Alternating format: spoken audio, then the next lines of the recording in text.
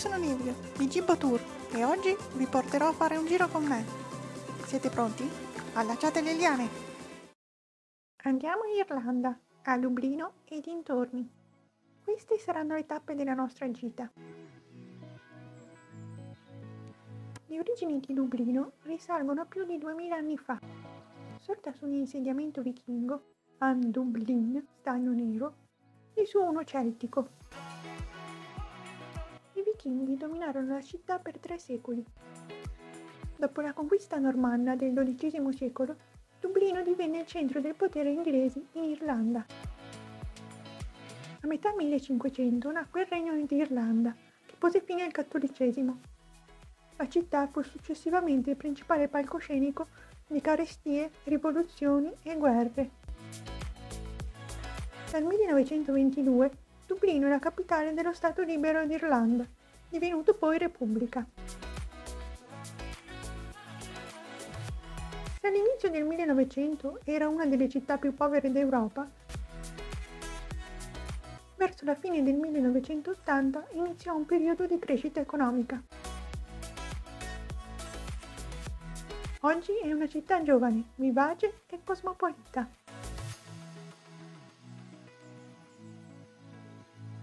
Per muoversi a Dublino consiglio di acquistare la Lip Visitor Card. Come prima tappa partiamo dalla St. Patrick Cathedral, cattedrale di San Patrizio. È la chiesa più grande d'Irlanda, considerata il primo sito cristiano. Fondata nel 1191, l'edificio attuale è del 1220, costruito su una precedente chiesa del V secolo. L'ingresso è a pagamento. La chiesa fu teatro di varie vicende storiche, ad esempio la porta con il buco testimonia la pace tra le famiglie rivali Butler di Ormond e Fitzgerald di Kildare. E dopo anni di faide, nel 1492, dopo un'accesa battaglia, si rifugiarono nella chiesa e dopo ore di negoziazione si strinsero la mano attraverso il foro. Da qui l'espressione irlandese giocarsi un braccio. Jonathan Swift, autore dei viaggi di Gulliver, fu decano della cattedrale nella prima metà del 1700. Qui si trovano la sua tomba, il suo epitaffio scritto da lui stesso e il calco del suo teschio. Tra le figure minori del monumento di Boyle, del 1632, compare anche Robert Boyle, lo scienziato che formulò la legge di Boyle. La musica è fondamentale nella storia della cattedrale. La scala chiocciola conduce all'organo. La console è del 1901. Molti degli elementi interni, come piastrelle, soffitto vetrate, risalgono alla ristrutturazione voluta da Sir Benjamin Lee Guinness. Nel 1864.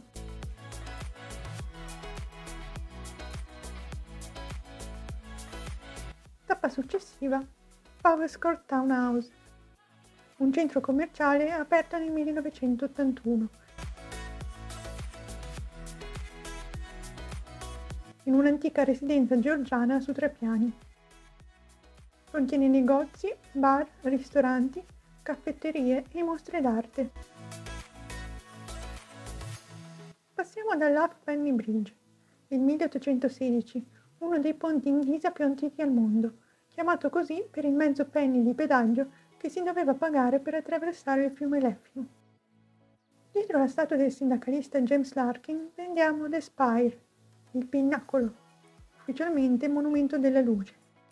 Si erge per 121 metri di acciaio. Alcuni sostengono che l'ago rappresenti la lotta contro l'eroina degli anni 90 nel 2002 ha un diametro di 3 metri alla base e 15 cm alla punta. Dagli irlandesi è chiamato con ironia anche The Spike, lo spuntone,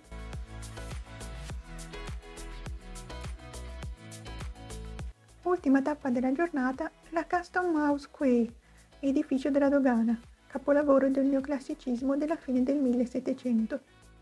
La facciata è lunga 114 metri le 14 teste rappresentano i fiumi d'Irlanda, tra cui il Liffey è l'unica donna. teste di bovino rappresentano il commercio. Le statue sono Africa, America, Asia ed Europa. E sulla cupola la speranza. Il secondo giorno passiamo dal municipio City Hall, costruito dalla Corporazione dei Mercanti a fine 1700 come sede della Camera di Commercio.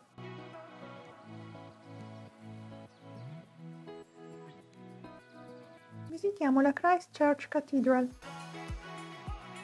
l'edificio più antico di Dublino, la cui storia inizia nel 1030, quando il primo re cristiano, il vichingo Sitruk Silkenberg, costruì qui la prima chiesa di legno. L'edificio in pietra fu costruito nel 1170 da Strongbow, il capo degli anglo-normanni che conquistarono Dublino. Le vetrate sono del 1870. Quelle del battistero rappresentano i santi irlandesi.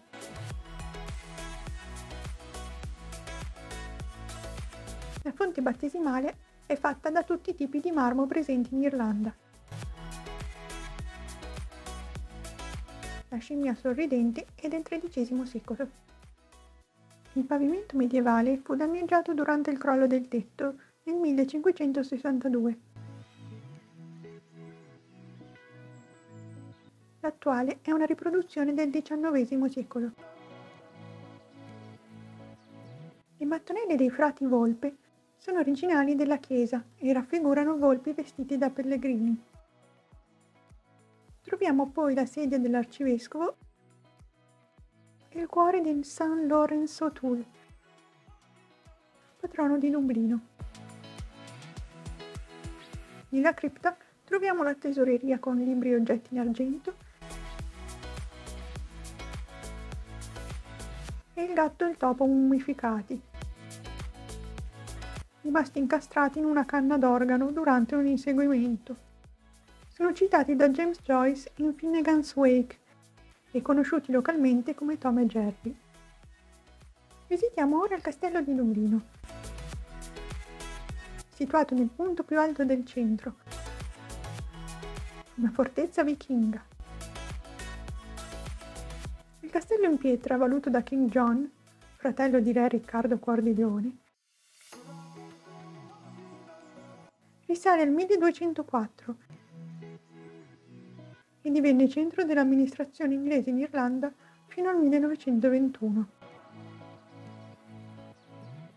Fu anche usato come residenza reale.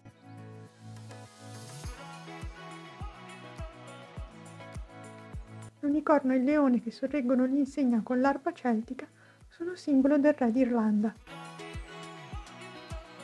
con lo scudo inquartato e stemma del Regno Unito. Passando dal giardino, visitiamo la Chester Beatty Library,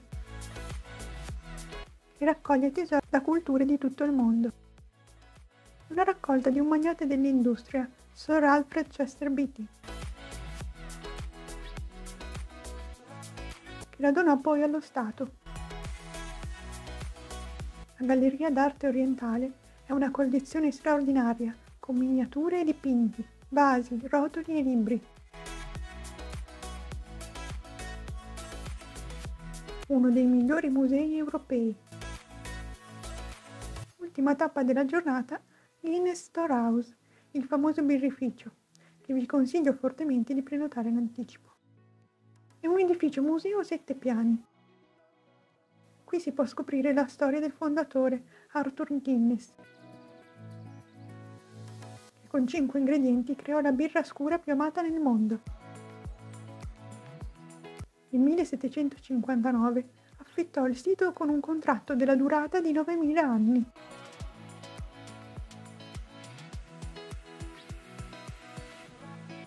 L'arpa di O'Neill, il bardo irlandese, divenne simbolo della Guinness nel 1862. All'ultimo piano si trova il Gravity Bar, da cui si può ammirare Dublino sorseggiando una birra.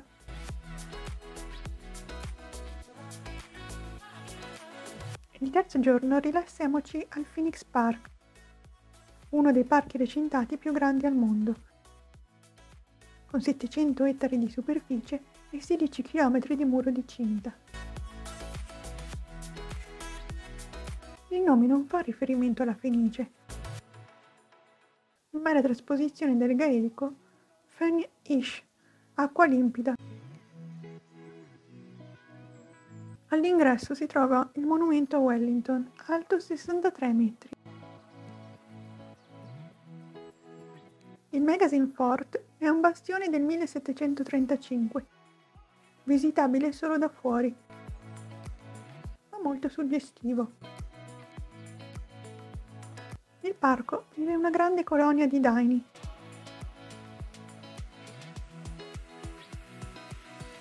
Non temono affatto gli esseri umani. Tappa successiva, gratuita e facoltativa, il Museo di Arte Moderna, che ha sede nel Royal Hospital, un edificio del XVII secolo costruito come pensionato per i soldati, con facciata barocca e giardini con opere d'arte. Andiamo ora a Kilmainham Jail per la visita guidata nell'ex prigione, sempre da prenotare online con largo anticipo. Lascio il link in descrizione. È un grigio edificio impenetrabile, costruito per essere il più inospitale possibile. Dentro fa molto freddo. Nelle celle venivano rinchiusi uomini, donne e bambini. Da qui più di 4.000 persone furono deportate in Australia fino al 1858. I crimini per cui si veniva esiliati a volte erano molto lievi, come l'aver rubato del grano. Con la grande carestia del 1845, poi, il numero dei prigionieri subì un'impennata. Molti rubavano proprio per farsi incarcerare e assicurarsi così un paio di pasti al giorno. Nel cortile della prigione furono fucilati dal governo britannico molti nomi della resistenza irlandese, tra cui James Connolly, comandante della rivolta di Pasqua. La prigione, chiusa nel 1924, fu anche set di celebri film irlandesi e di un video degli U2. Per il quarto giorno, se capite bene l'inglese e preferite non affittare un'automobile, vi consiglio una gita in giornata in pullman con un tour operator locale. Prenotando in anticipo si possono scegliere varie mete. Consiglio Glendalough, Wicklow Mountains e Kilkenny. Glendalough significa Valle dei Due Laghi, si trova a circa 50 km da Dublino ed è uno dei luoghi storici più belli d'Irlanda.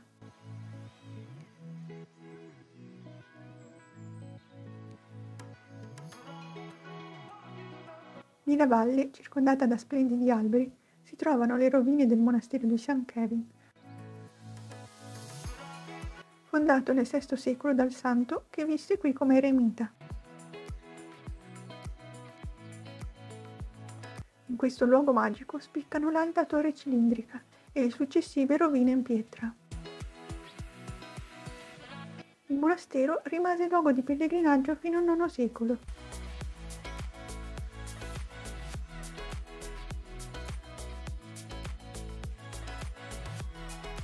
Il tour prosegue soffermandosi sulle Wicklow Mountain, una catena montuosa particolarmente alta per l'Irlanda, con un picco di 926 metri.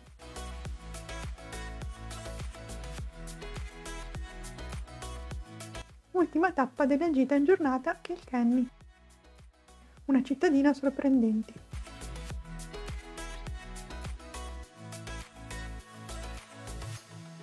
suo castello normanno è del XII secolo ed è stato proprietà dei Butler di Ormond per circa cinque secoli. Quelli del braccio nel buco della porta della cattedrale di St. Patrick. Nel 1967 la marchesa di Ormond decise di cedere il castello alla città per sole 50 sterline.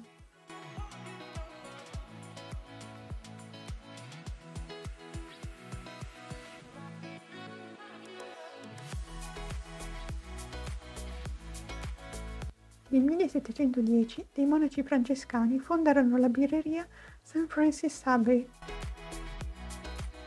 che successivamente divenne proprietà della famiglia Smithwick di Kilkenny.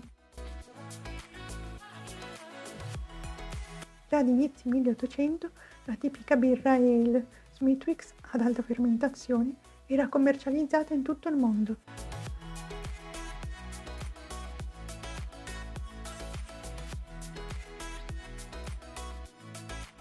La Black Abbey è del XVIII secolo.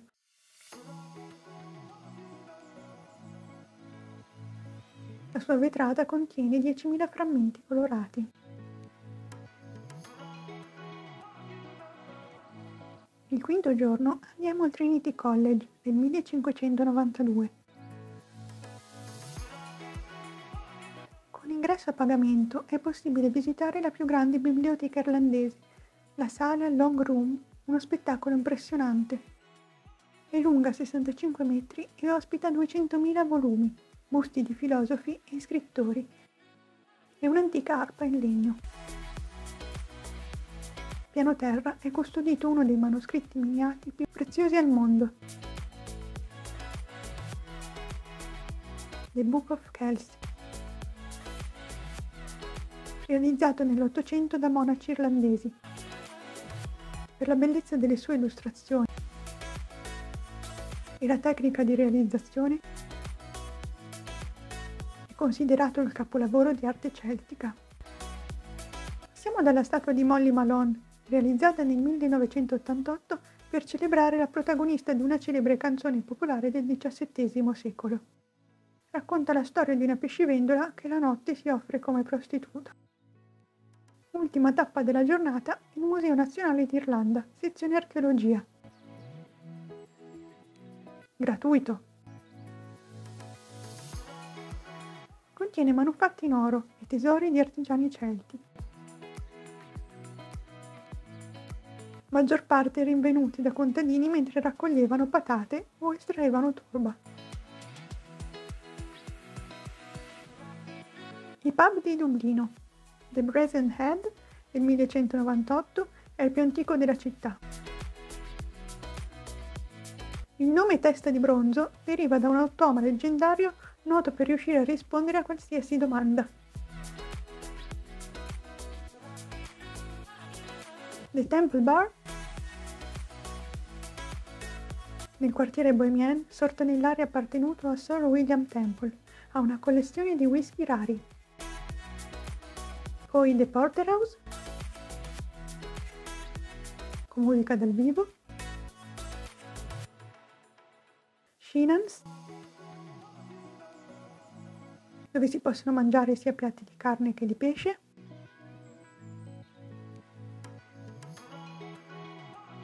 David's Pub, con cucina aperta fino a tardi e musica dal vivo.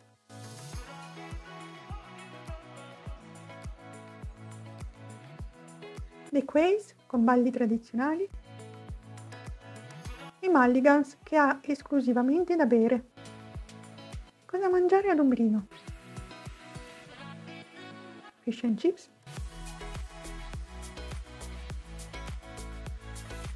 Salmone, manzo, zuppe, torte di pesce, hamburger, formaggio di capra?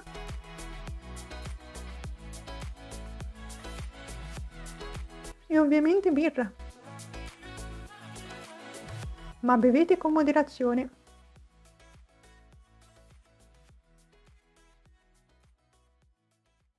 Qui finisce la nostra visita. Iscrivetevi al canale Gibbo Tour per nuovi itinerari. Potete seguirmi anche su Instagram e Facebook per rimanere sempre aggiornati sulle curiosità di viaggio. Siete pronti? Adagiate le liane!